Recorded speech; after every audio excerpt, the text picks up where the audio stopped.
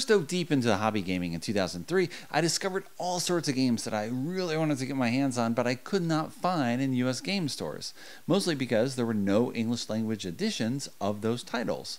People had ordered them from overseas, translated the rules themselves, or found a translation on Board Game Geek or elsewhere. And if you wanted a copy, well, you had to do the same thing order overseas or wait and maybe an English language edition would be released. You just didn't know back then. It's kind of puzzling. We went through this period where you seem to have near simultaneous releases of all the big big titles that you would expect, but now the market has grown to such a degree that we're kind of back at the early 2000s again, where a game comes out, Ganymede, for example, from French publisher, sorry, we are French, from designer Hope S. Hwang. The game includes rules in French, English, and Korean, but it had no distribution in the US. It was only in France. And so, do you order it? Do you wait? Do you, what are you going to do? What are you going to find out? I mean, thankfully, I work for BGG and we picked up copies at Spiel and I borrowed one from our own library, so I got access that way, but that doesn't necessarily help you. Now, Lucky Duck Games has announced that it will release the game in the US in early 2019. So, now we have a solution, but nine months ago, when we were first talking about the game, who knew? Didn't know what was going to go on. So it's this interesting cycle of release and mystery of when things are going to come up. Hmm.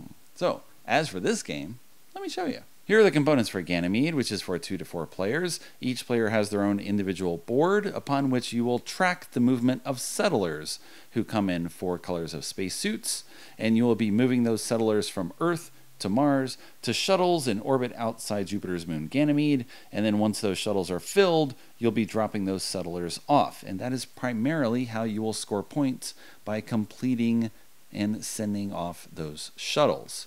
You'll be getting the settler tiles by drafting them from this array, and then you will have Earth shuttles that move the settlers from Earth to Mars, and Mars shuttles from Mars to outside the orbit of Ganymede. People have compared Ganymede to Splendor in that the two games both have an array from which players draft over the course of the game. And it's true, visually they're very similar. You have something laid out, mostly you're going to be picking up a tile or a card on a turn and then doing something. That's reminiscent of Splendor, Ganymede has a bit more going on in that you'll have somewhat more complex turns and more challenges in doing what, what you want to do. These are the four starting settler tiles, and they give you both a settler and one of the shuttles to Ganymede when you draft them.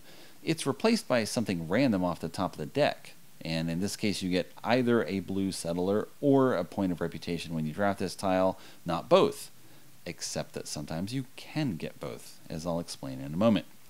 These are the shuttles from Earth to Mars and Mars to Ganymede, and they have requirements up top for these settlers that you will be moving from this particular location.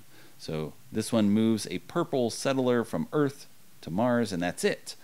All these other ones here have bonuses, but they're more challenging to do because they have certain color requirements that are more than just one purple. To start the game, each player is dealt four shuttle cards at random and chooses two of them to start on their player board, with the others being shuffled back into the deck. These Shuttles are worth a fixed number of points or a variable number of points depending on what you do over the course of the game. You start the game only with those two shuttles that you drafted initially. You have no reputation, no shuttles below your board, no settler tiles above it, and no settlers on your planets. Everything is going to come from you taking one of three actions on your turn, which are primarily drafting actions. So, one of those is to draft a settler tile, if I do that, I get whatever's on the tile. So in this case, a red settler and a shuttle, either one of the face-up ones or the mystery card at the top of the deck. Maybe I do that again on my next turn. I get a yellow settler, I get another ship. And now let's say I draft an Earth shuttle. I can do that because this shuttle requires me to move a yellow and red settler from Earth, just shown on the back of the card, and I draft it from the Earth row and they move to Mars. You get some bonus on the bottom here, which in this case is an adapt symbol. I can transform one of these settlers to be purple, or I can transform a purple settler to be a color of my choice. Why I would care to do that is because of the launch requirements for the shuttles. You got a very oddly functioning company here. This shuttle launches only if it has one of each color of settler, whereas this one launches only if it has three settlers of the same color. So those are reasons why you might want to change one color to another, but at this point, it doesn't matter. So maybe next turn I could draft a Mars shuttle. All right, shows Mars on the back. It moves red and yellow to the shuttles. You can move them to the same one or to different ones. So we do this. And then I get a bonus move action, but I have no one else to move. You can move from shuttle to shuttle, but I've got no reason to do that. So maybe I don't want to take this yet. I want to use my actions as efficiently as possible. So perhaps instead I will first draft another settler tile. And this is another way that you want to be efficient with your choices if you match a symbol with something that you already have, you get to do this tile a second time. And if both of these were yellow, I would do this three times total. So I take this tile, I do it once, I'll take a yellow settler, and now because I have one yellow in here, I get to do one of these choices a second time. I can take another yellow settler, or I can move somebody. So let me move this one to Mars.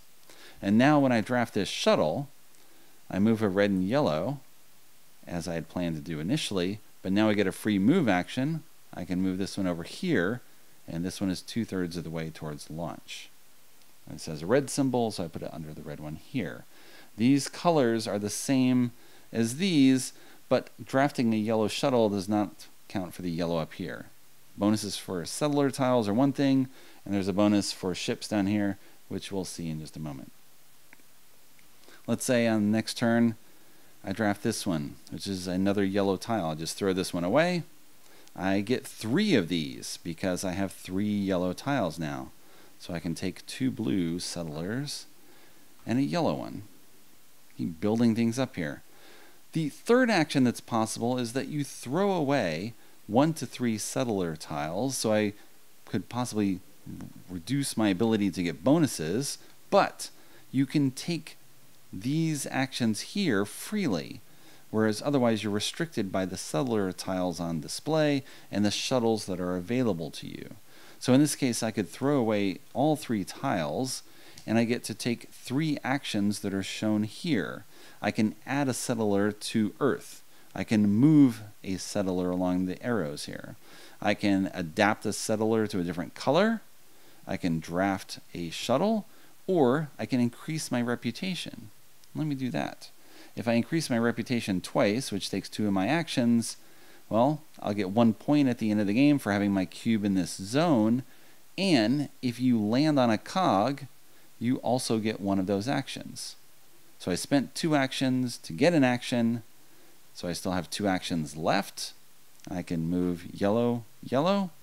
And now this shuttle is ready to launch because it has three settlers of the same color. My turn is over done nothing else. So this launches, these get returned to the supply. This goes on the side. At the end of the game, I get two points for each settler tile I have. I'll have time to get more, so not a problem there. I then draft a shuttle card, either from the display or the top of the deck, and then choose one from my hand to put out. And now I'm ready to go again. As soon as a player is launched four shuttles to Ganymede, the game ends at the end of that round. And since players primarily score points from those shuttles, you want to be as efficient as you can and compound as much action into a single turn as possible by doubling up on the colors in the settler tiles and by doing that with your shuttles as well, as I'll demonstrate. This is the main difference between Ganymede and Splendor, where yes, you're drafting things, but the actions compound and sort of escalate more than they do in Splendor. In Splendor, you get a discount. You're going to buy gems, you put them in front of you, and that gives you a discount off future purchases of the same color, but it's a sort of slow linear progression. Games of Ganymede that I've played have kind of gone on, people do bonuses, and then it just up to the end. So you have to prepare yourself and work to make that happen for yourself. The other main difference between Ganymede and Splendor is that the settlers are effectively money. You may not think of them that way, but they are. because initially you're drafting settler tiles and putting that money on Earth. And you can't use a shuttle to move settlers from Earth to Mars unless they're the right colors. So you're sort of buying a shuttle with the money on Earth, and then you move that money to Mars, and then you have to get a different shuttle to move that money to the shuttles. And then you're buying a shuttle with three coins of the same color or one coin of all colors. It's a different way of looking at the game. More abstractly, they're not settlers anymore, they're just coins. But it, it shows the complication of this game versus Splendor. As simple as Ganymede is, it's more complicated because you've got this money moving through the system. And you might want to launch a shuttle at a particular time, but if you don't have the money of the right colors sitting there, you can't make it happen. So then it's going to slow you down. So you're trying to combo everything together the right way. You see if you can make that happen. You're a little hamstrung on which shuttle cards are up there. If the colors don't match well, you gotta you, you have to plan for that as much as you can and backtrack with that and throw away the settler tiles to adapt or to move or to add someone to the board so that you can keep everything moving in the right direction towards Ganymede. I've advanced a few turns in the game. I've drafted more settler tiles. I have a shuttle that took some people to Mars, and now I continue from this point. So perhaps I draft a shuttle, an Earth shuttle, mind you, that moves blue and yellow to Mars, and just as you get a color bonus when drafting settler tiles, you also get a bonus with shuttles. This is my second blue shuttle, so I get to do this move action twice. And I can divide it up among different settlers or just take one. So this guy hops immediately from Earth to this Ganymede shuttle. Maybe in my next turn, I draft this one, which is a Mars shuttle, which lets me move these three from Mars to a ship. It's my second yellow card, so I get this bonus twice to reputation, which gives me a bonus action, mm, which I will use to alter this blue settler into a yellow one. It's a white adapt action, so you can do any color to any color. My turn's over because I did everything. This shuttle's full and now it launches. So these are removed. This comes over here on the side. I draft a ship card and put out something else. So this shuttle is worth six points, but only if I have one of each color shuttle here, which right now I don't. So this is worthless at the moment, but we can make it worth something. So maybe on a future turn, I'll now draft this purple shuttle, which only just moves this one person to Mars, but it gives me a purple one. Mm, let's say I throw these two away to give me a yellow settler and then move it. And now, subsequent turn, I take this white one, which moves a yellow and a settler of my choice. I get a free move action, which doesn't really matter because this shuttle is full, so it launches. And when you complete all five colors, you get a bonus launch, whether or not the shuttle is full. So immediately this one launches, this is returned to the supply. I have four shuttles, and we'll end the game at the end of this current round. There is an overview of Ganymede, which I played five times on a copy from the BGG library, once with two players and twice each with three and four players. There's no difference in player count except the number of settlers in the game. So there's seven each with two players, and 10 with three, and 13 with four. We've never hit a settler shortage yet. We have not run out of a color, although in theory it's possible that no yellow settlers are available. So you have to not get one if you take a tile.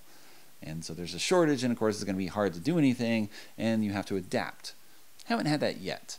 Instead, each game has been very tight where you're just trying to do the most you can with every single action. So, in the example game I had, I chose to throw away settler tiles to get something done that possibly I couldn't do otherwise. That is, draft a yellow settler and then move it over to Mars. Maybe I couldn't do that with the tiles on display or the shuttles that are available there, but by doing that, I could end the game quickly. And then the problem is, I only have one settler tile there, so now my shuttle that gives me two points per settler tile is only worth two points instead of possibly six. So you make these choices based on what other people are doing, and you're stealing tiles and shuttles that they might want. Although it's difficult to do that since, again, you do have those color restrictions. I can't just take something, as in Splendor, where you can draft a card along with a gold coin and just hold that card in your hand, and maybe you spend it and maybe you don't. But here you can't do that. I can't burn a shuttle for no reason. I can't just blow it up. I'm not a malicious person that way. Not in the game. So you have to try to figure out in advance what people can do to thwart you. What colors do they have available on Mars? What do they have here? What are they going to do? What do you think they're going to do ahead of you? And so you try to see your way through that path of what's available in terms of the shuttles. Those shuttles don't change much in a two player game. So that's good and bad, right? You have to make the right choices on the tiles you're drafting and the actions you're taking to use what's available to you because they're not going to cycle through as they do in a four player game where you want something, okay, well, it's gone and someone else uses it and this, that, and the other, but you will have more things coming. You kind of more at the luck of the draw of what's coming up there. Whereas in two, it's a little more hardline planning. Either way, the game plays relatively quickly because you're taking these minuscule actions draft a tile, draft a shuttle, throw away tiles to do something. That's it. And yet, it, they add up and they compound more, and you start doing two or three things at a time. So I've seen uh, heavy drafting action where someone would have four shuttles of the same color, and then so they're jumping up a lot in reputation, where you can max out at six points on that.